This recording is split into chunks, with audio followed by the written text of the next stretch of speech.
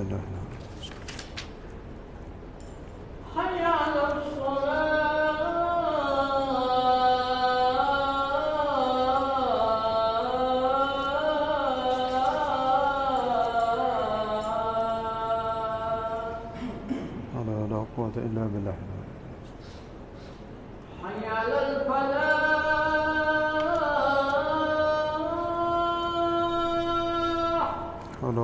قوة إلا بالله العلي العظيم.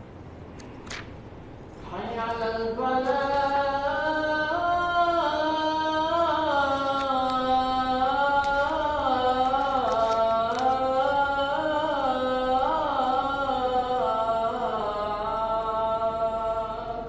حول ولا قوة إلا بالله.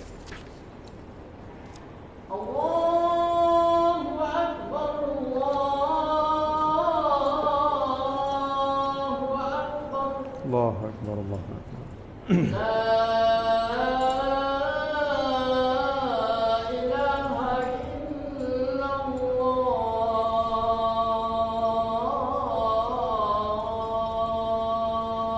لا إله إلا الله.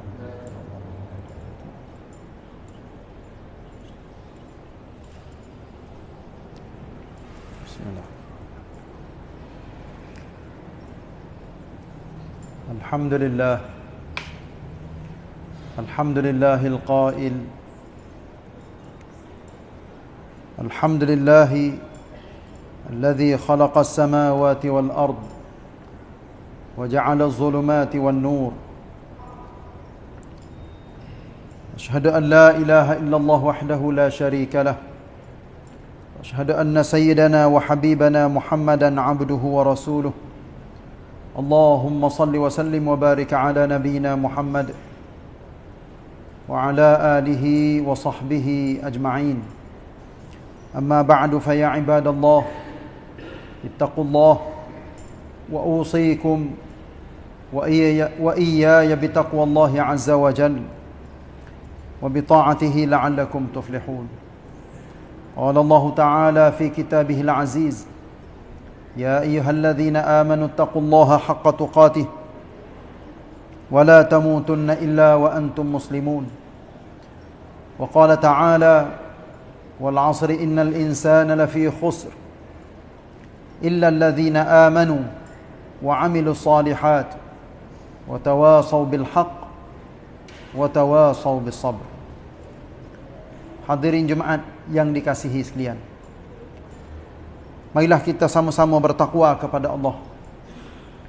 Marilah kita tingkat iman kita, faham kita, takwa kita kepada Allah Subhanahu Wa Taala di mana sahaja kita berada.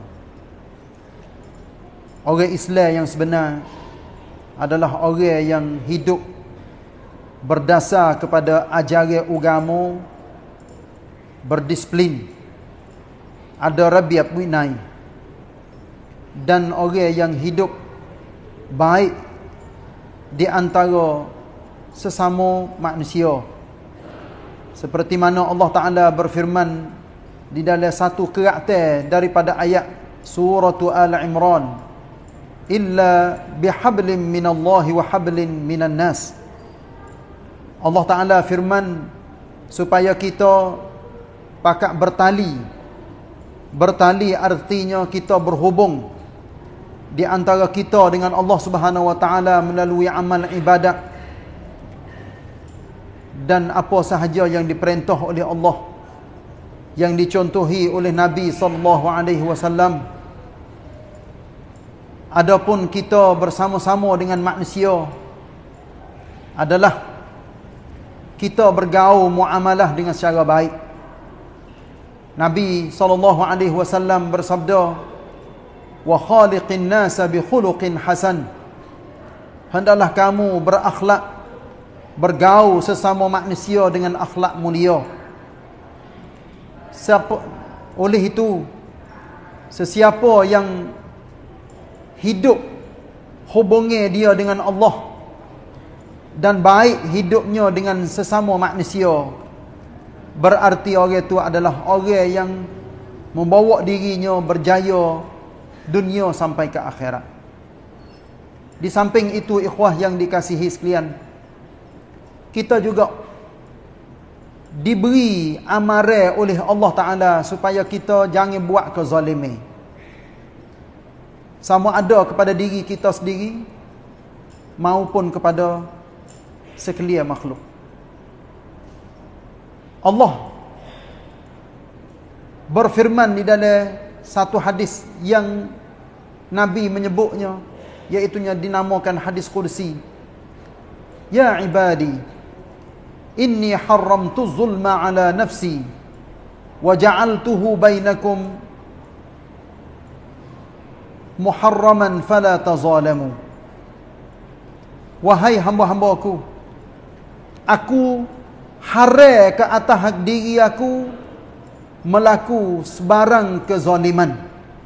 Maknanya Aku tidak akan buat zalim kepada mana-mana hamba aku Dan makhluk aku.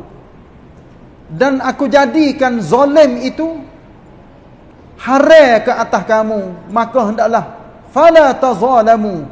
Jangan kamu menzalimi Jangan buat kezalimi di antara satu sama lain. Allah Ta'ala firman di dalam beberapa ayat Al-Quran setakat saya perhati dalam Quran ni ada sembilan tempat yang Allah Ta'ala firman waman azlamu. Siapakah yang lebih zalim? Salah satu daripadanya Allah Ta'ala firman di dalam suratul sajdah yang selalunya kita mendengar dan baca di pagi hari Jumaat iaitu Allah Taala firman waman azlamu mimman dzukira biayati rabbih thumma a'rada anha siapakah yang lebih zalim daripada orang yang disebut ayat-ayat Allah ayat-ayat Tuhannya kepada dia Maknanya dibaca akan firman Allah. Dibaca ajaran-ajaran agama kepada dia. Tapi dia paling belakang. Thumma a'rada anha. Maknanya tak seterima ajaran Allah dan buat paling belakang dengan hukum Allah.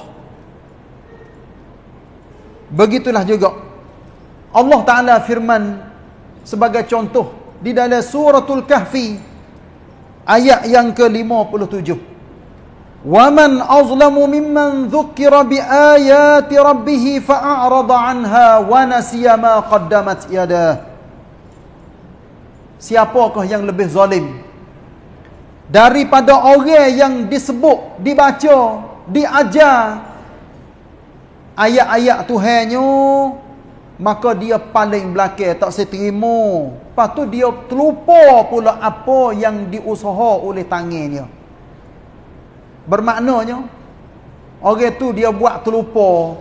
Gapo hak dia duduk usaha dalam hidup dia sedangkan dia dia sendiri tahu katanya dia buat dosa buat salah tapi dia buat terlupa. Tak si istighfar dan tak si bertaubat Inilah Allah Ta'ala pernam Kata kepada orang yang zalim Dan beberapa ayat lagi yang saya tidak sebut di dalam khutbah ni Adanya beberapa perkara yang Allah Ta'ala royak Orang-orang yang paling zalim. Oleh itu ikhwah yang dikasihi sekalian Kita hamba Allah. Kita mengaku katanya kita orang Islam. Kita mengaku kita hamba Allah yang mesti bawa hidup kita supaya selamat dunia dan akhirat. wong con ciwit kita kena duduk di dalam agama. Tiap-tiap orang kena belajar agama, kena dididik dengan cara agama. Dan dengan agama inilah kita akan mengadap kau Allah Ta'ala dengan kita nak pergi royak kepada Allah Allah lebih tahu hak sebenarnya. Kita nak pergi royak kepada Allah gapo hak kita duk buat? Itulah yang dinamakan sebagai seorang muslim yang reti yang faham cara hidup dia di atas muka dunia dia jalan di atas jalan yang diredai oleh Allah dan dia menjauhi segala kezaliman sama ada dia buat dosa kepada dia sendiri ataupun dia buat kepada orang lain. Ikhwah hadirin yang dikasihi sekalian. Apa sahaja yang kita buat mi pun dalam hidup kita lama banget. Sama ada kita buat baik ataupun kita buat jahat. Allah Taala firman Inna allaha ma'al ladhina taqaw Wal ladhina hum muhsinun Sesungguhnya Allah bersama dengan orang yang bertakwa dan orang yang sentiasa buat kebaikan.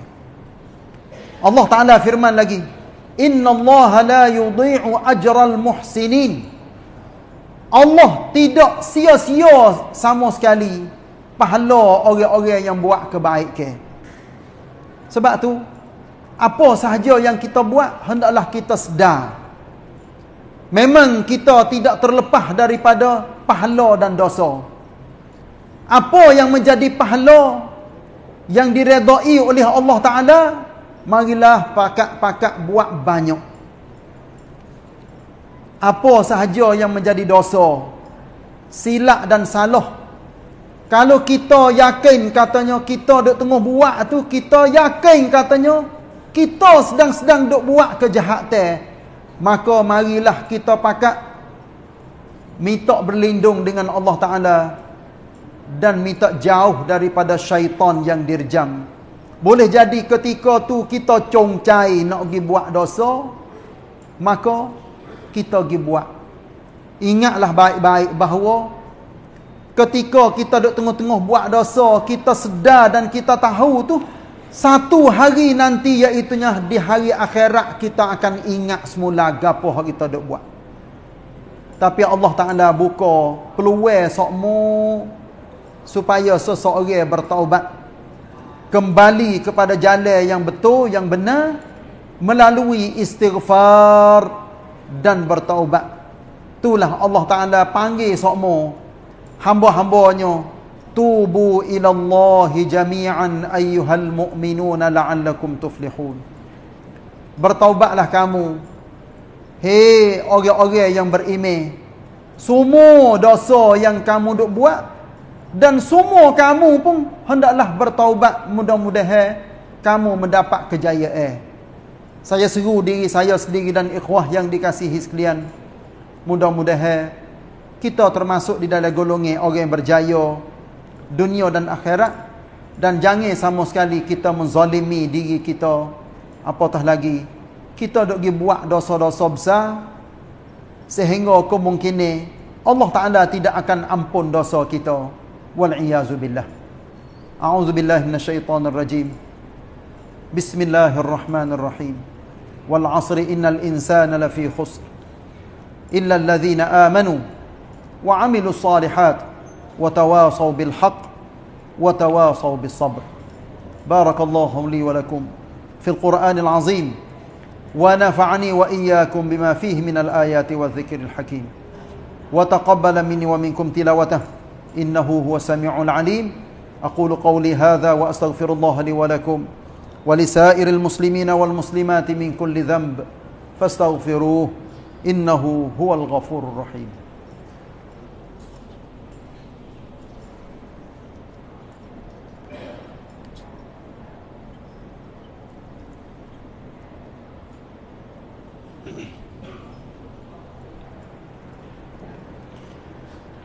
Alhamdulillah.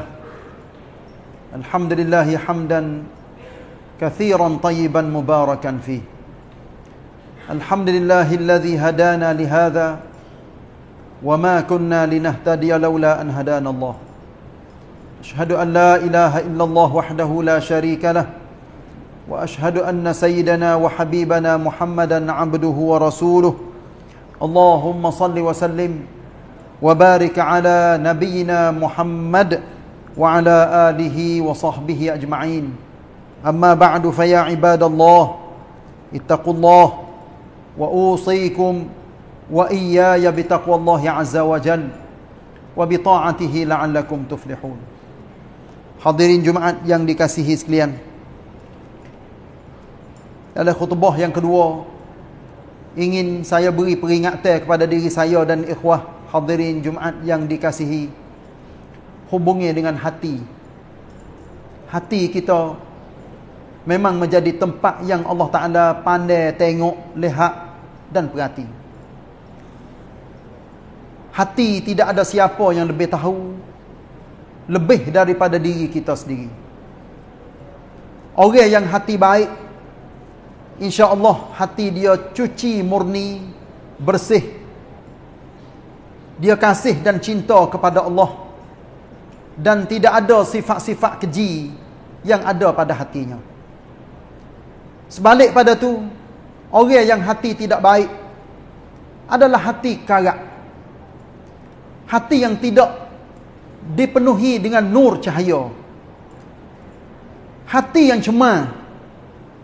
Apabila hati cemar, perbuatan, percakapan dan usaha siapakah mikir pun mikir benda-benda yang cemar yang tidak baik. Sebab itulah Allah Taala nak tengok hati Nabi mari duk hurai kepada kita.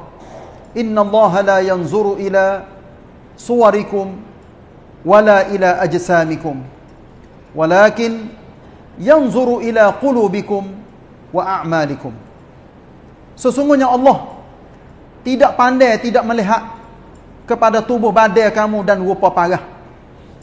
Tetapi Allah akan melihat perhatinya di hati kamu dan perbuatan kamu. Berarti hati kita kalau sekiranya hati cuci bersih ikhlas dan baik kita maka alhamdulillah orang itu dinamakan orang hati bersih. Apatah lagi hati membawa kepada zahirnya amalan dan usaha perbuatan percakapan yang menunjukkan bahawa orang apabila hati dia baik maka baiklah segala-gala di dalam kehidupan dia benda ni kecek mudah tapi nak buat payah Maka saya seru diri saya sendiri dan hadirin Jumaat. Marilah kita buat perasaan, perangai hak tak tak molek di dalam hidup kita, lepas tu kita mari beki hati kita jadi cuci. Jangan we ada sifat takabur. Pelekeh kok orang. Hina orang. Sehingga Nabi royak di dalam hadis bihasabin miri'in ataupun bihasbin mri'in minasyarri an yahqira akhahu muslim boleh dikirakan seseorang itu jahat tidak baik iaitunya apabila dia pandai genoh pandai lekeh kepada sesama orang seagama iaitunya sesama orang Islam sebab tu marilah kita bubuh perasaan adik-beradik di dalam jiwa kita setiap masa dan setiap tempat. Walaupun kita kena tak kena orang tu, asalkan dia orang Islam, maka dia adalah adik-beradik kita. Kita pakat-pakat berdoa kepada saudara-saudara kita. Walaupun hak kita tak kena, asalkan dia mengucap asyhadu an la ilaha illallah wa asyhadu anna muhammadan rasulullah, dia adalah bersaudara dengan kita. Jangan kita angin. Jangan kita takabur. Jagakanlah. Tata tertib cara hidup. Jadi pakak-pakak nasihat. Pakak tunjuk ajar. Pakak hormat menghormati di antara satu sama lain. Orang apabila hidup dengan persaudaraan hati bersih, pakak nasihat, lepas tu pakak terima nasihat. Nasihat dengan hati bersih dan cara nasihat pun baik. Serta dengan orang hak terima nasihat pula, terima dengan penuh hati. Jangan tengok kepada orang nasihat kepada dia supaya orang nak pelekeh dia. Bukan. Ninglah Kalaulah hidup amalan macam ni di dalam masyarakat kita, saya yakin kita akan jadi pekpen. Kita akan jadi bersatu dan kau lebih tambahnya kesatuan umat Islam tetapi bakpo boleh pakak duk laung duk royak marilah kita pakak bersatu marilah kita pakak bersaudara tapi hakikat kuam pencing kita berpecah belah. Kita berpecah belah. Kita pakat duk kata gi mari mengopak laknat kecek huduh dalam ciwit kuam pencing kita. Kita nak buat macam mana nak jadi?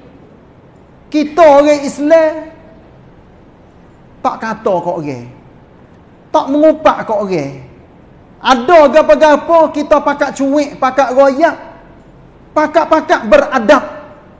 Berakhlak mulia. Hai kiat sengkan lekan. Jangan hino dumin yet yam. Duduk cek ke buruk ke orang. Lepas tu duduk tunjuk perangai yang tak-tak molek. Sama ada secara peribadi ataupun secara ramah-ramah. Buat gapo-gapo, cuba kita fikir, kita renung, kit kon put, kit kon tam. Bila kita buat gapo-gapo satu-satu perkara keratup dengan saudara kita, sama ada sore ataupun ramai-ramai. Jangan kita dok pergi minta maaf di belakang hari. Apabila hati orang tergurih dah. Hati orang dia sudah pun terasa dah dengan kita duk buat. Kita kecek. Kita duk pergi sedang oh. สิ่งที่ไม่ควรเกิดขึ้น Orang Melayu kita dia tu gurih sikit sebanyak dia akan ingat buat selama-lama. Ni kita kena ambil juga ประเพณีวัฒนธรรมวิถีชีวิต orang-orang Melayu kita boleh jadi orang-orang bukan orang Melayu buat gapo-gapo walaupun keratop sikit sebanyak dia maiถือ tapi kita orang Melayu ni diaถือwalaupun kita buat sekali dengan orang ataupun orang buat sekali dengan kita pakat duk bubuh di dalam hati duk penai dalam hati. Siapa kau bila-bila walaupun mulut ayat katanya wi maaf dan minta maaf sebab itulah keratop keratang di dalam hidup kita Jangan siapa kau berlaku. Ada gapo-gapo marilah kita pakat fikir molek. Sebelum daripada kita nak bertindak ataupun kita nak waktu bik perangai hak tak tak molek kita maka kita fikir molek dulu. Bila kita buat dah Galiknya orang duk pergi sesar belakang hari. Sebab itulah kita duk tengok orang-orang sial Apabila dia buat gapo-gapo, tekah dia buat tu dia tak mikir. Bo kena igak. Tubik dalam se, dalam berita, mula semuh selalu. Duk royak arun chua wup. Madai tang cai. Royak ga tu, royak ga ning. Itulah orang Melayu kita katanya bila nasi sudah jadi bubur. Bermaknanya apabila sudah basi wela man ผ่านไปแล้ว จะไปขอโทษจะไปขออภัยได้ยังไง Itulah saya pesan kepada diri saya sendiri dan ikhwah yang dikasihi sekalian marilah kita pakat beki hati kita dan perasaan kita setiap masa minta semua dengan Allah supaya Allah beki hidup kita dengan uja, dengan ajaran agama. Kalau tidak dengan ajaran agama, memang tidak ada siapa yang akan berjaya hidup dia dunia sampai ke akhirat. Di hari Jumaat Allah Taala sengaja beri keistimewaan kepada kita beberapa perkara. Salah satunya solat Jumaat dengan khutbah bersedekah baiki hati istighfar bertaubat dan berselawat kepada Nabi wasallam. Maka marilah kita pakat berselawat ke atas Nabi wasallam dan harap mudah-mudahan Allah Taala menerima doa di dalam khutbah, dalam solat dan selepas solat. A'udzu billahi minasyaitonir rajim. Innallaha wa malaikatahu yusalluna 'alan nabi.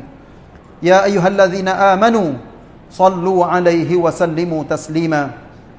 Allahumma salli wa sallim wa barik 'ala nabiyyina Muhammad wa 'ala alihi wa sahbihi ajma'in. Allahumma ighfir lil muslimina wal muslimat wal mu'minina wal mu'minat al ahya'i minhum wal amwat. اللهم أعز الإسلام والمسلمين وأذل الشرك والمشركين ودمر أعداء الدين وأهلك الكفرة والملحدين يا رب العالمين. ربنا عليك توكلنا وإليك أنبنا وإليك المصير. ربنا آتنا من لدنك رحمة وهيئ لنا من أمرنا رشدا.